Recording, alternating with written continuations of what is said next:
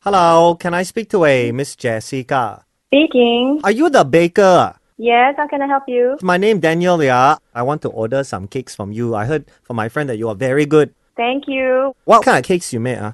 My signature is the French vanilla cake with raspberry buttercream. Oh, you number one seller. you signature, so you sign the cake, ah?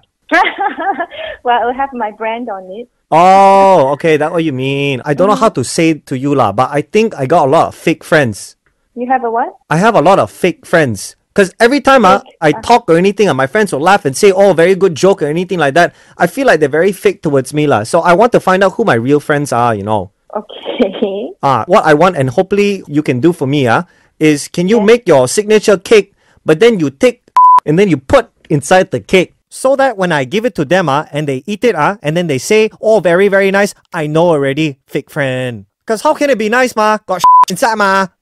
Okay, how about I give you the cake, you do what you want with it. Okay, Miss Jessica, if not, okay, maybe a bit too harsh lah. What can we What put is your inside? name again?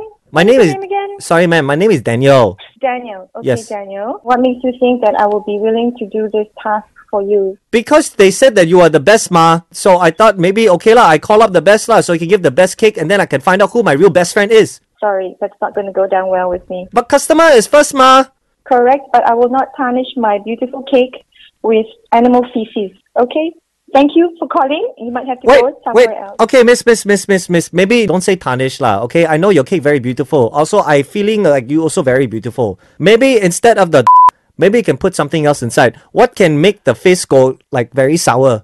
Maybe you put like a lemon inside the cake. That will make the cake really nice. Oh, I don't want that. I don't want that. I don't want that. Then okay, maybe the sour plum. You put the sour plum in the in the cake. Daniel, this is something which I do not do. First time for everything, ma. No. Look, you don't understand. I have a lot of friends. People call me influencer. What is the point? I want to find real friends. Even my girlfriend also, I'm very skeptical right now also. Why she laugh, laugh, laugh, laugh, then when I'm laughing, then she take my money. I don't want. Right now, I would like to continue with my job, and I need to get on with my day. I am giving you a job right now. I paid, don't worry. Thank you very much for calling. Okay, then- I have to get on with my day. I want one original cake then from you. Forget the cake, okay? No, no. No, no, no. I'm sorry. This one very special. I know my two best friends, they will love this cake. Arnold and RD from the Hitz FM Morning Crew.